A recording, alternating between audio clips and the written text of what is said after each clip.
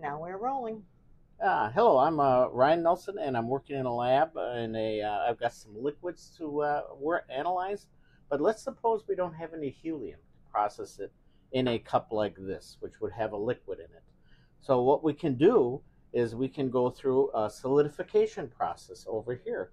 So we have our liquids, and we have uh, some material for solidification, and we mix them together at a 50-50 ratio, and we end up pouring it in 120 degrees, form a melt, and then pour it into a solid form, and then uh, analyze this in the machine. So we can just take this out and analyze it very safely under a vacuum, get a very good signal from the sample.